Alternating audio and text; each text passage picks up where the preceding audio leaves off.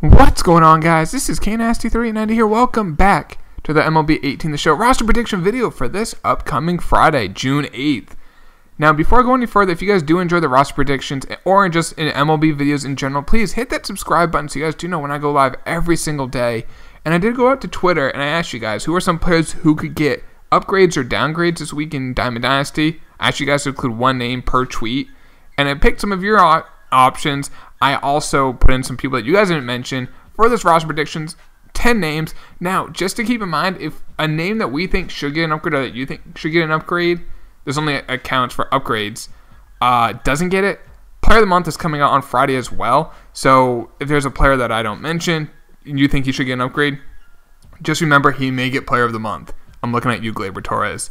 But let's get into this, guys. Let's start this off. First up here, we have Andrew Benintendi from the first place Boston Red Sox. Has a nice ring to it. And uh, at Pat's Nation, PS4 just said Andrew Benintendi upgrade. Short, sweet, to the point. He's right in my opinion. I think Benny deserves an upgrade. I give him a plus two. He's been red hot in the month of May and early in June.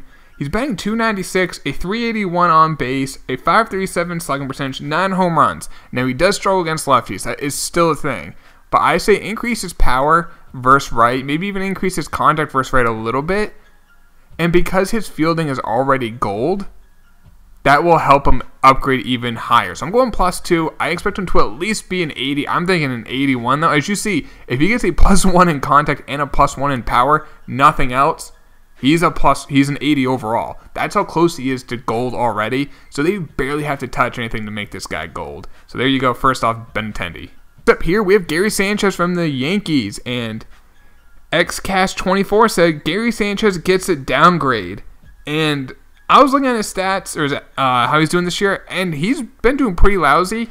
He's in 201. I didn't realize it was that low. 12. He does have 12 home runs, which isn't bad, but only a 464 slugging. I mean, like Benintendi slugging is a 537, just for a reference.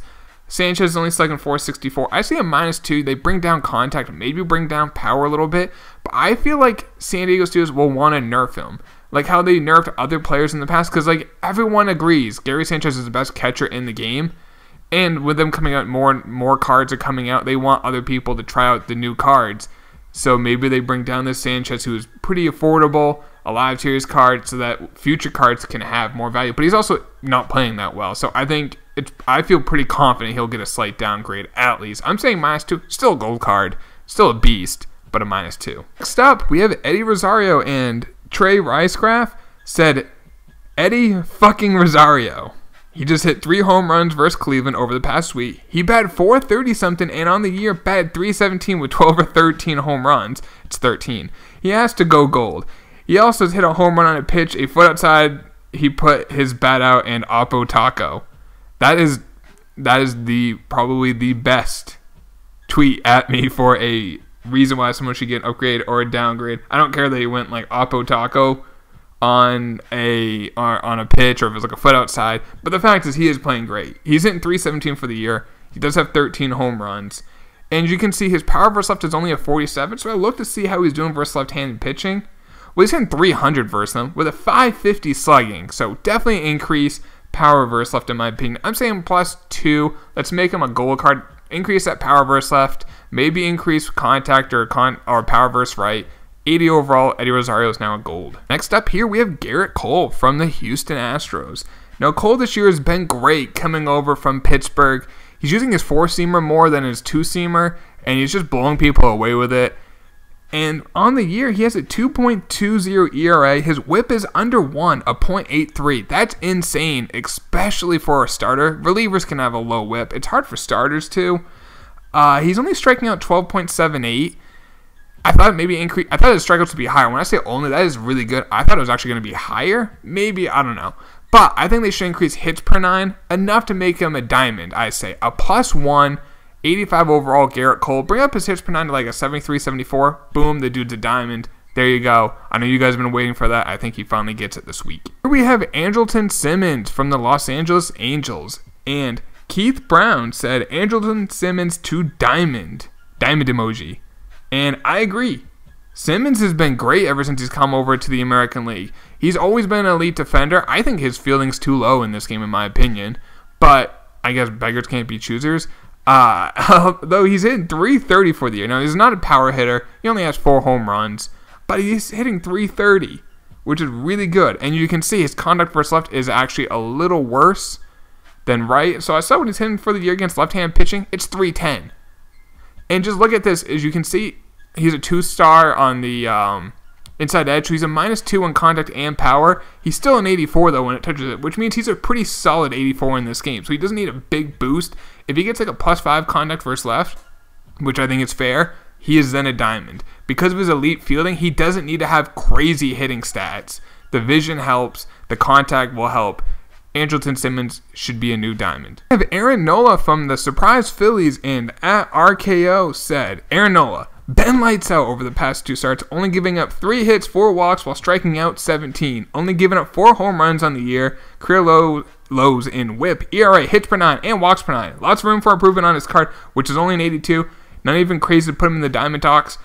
RKO, I agree with you. Like I was looking how he's how well he's doing. Obviously, you mentioned how well he's been doing for the year, uh, for the last couple uh, starts. For the year, a 218 average, a whip of only .93.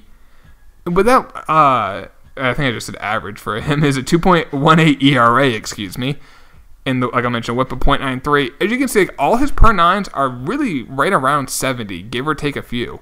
And I think you can increase hits per nine, you can increase home runs per nine. You mentioned he's not giving up many home runs, and there is a lot of room in this card to grow.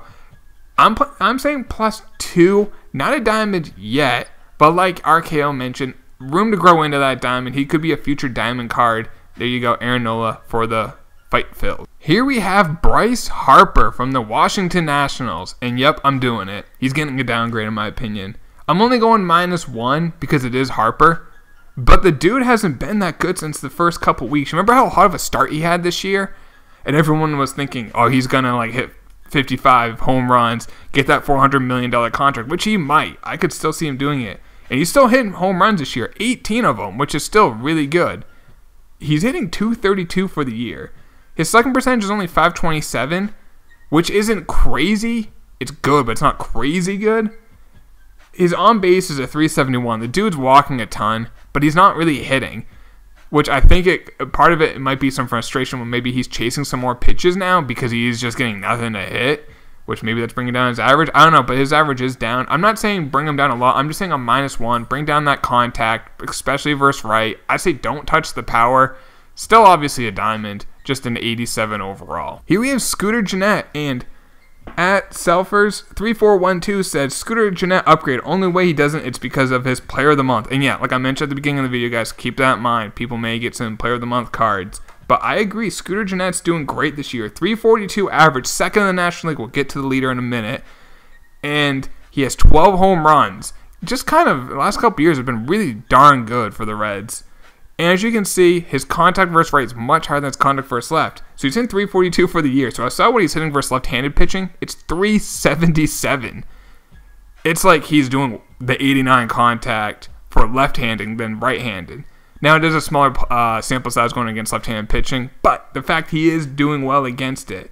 So I would give him a plus two right now. There's room to grow on this card as well, but I'm saying plus two. Let's make him a 78, kind of like what his inside edge is. And yeah, not a gold yet, but maybe in time throughout the year he could go gold. We have Michael Wacha from the Cardinals. Now, I didn't realize how low his overall was. He's only a 73, and Bailey Reed said a plus two from Michael Wacha. 7 1 on the year with a 2.41 ERA, a 1.10 whip, and took a no hitter into the ninth his last start. Make him a silver San Diego Studios. I'll just say a couple things. First off, they don't care about win loss record, but you do make good points. And, the, and that he took a no hitter into the ninth I don't know of a starter who hasn't taken a no hitter until at least the seventh. I feel like every starter this year has. Been the year of the no hitter or the almost no hitter. But he has been great. You mentioned the 2.41 right? a 1.10 whip. Now he's not striking out many guys, but that's not really Michael Wacha's game. But he is giving up a lot of soft contact. I say increases hits per nine, increases walks per nine. Let's make him a 75. Like you mentioned, he's a silver card, Michael Wacha. We have Matt Kemp from the Dodgers. Now, Tyler said, Matt Kemp, he is leading the National League in batting average. Yes, he is. Slightly ahead of Gennett, but he is. A 344 average, a 376 on base. He's not really walking a lot, but he's getting on base just high because of his hitting.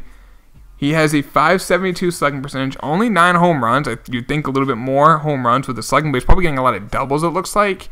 But I could still see them increasing power, definitely increasing contact. I say plus two, a 77 overall. Now his fielding is really poor, so I don't. It's going to be hard for him to go gold this year. He could. It's going to be hard just because he doesn't have the fielding to help boost him up. So it's going to be, or the speed. It's just going to be like, can he hit his way to gold? Maybe. We'll see. I'm saying a plus two, a 77. But there are the 10 guys that I think should get upgrades or downgrades. If you think I missed anyone, like I said, could be a player of the month, or maybe in the comments down below. I'd love to hear from you guys what who or why they should get upgrades or downgrades. I hope you guys enjoyed this video. Please drop a like if you did. I'll talk to you later, boys. Take it easy.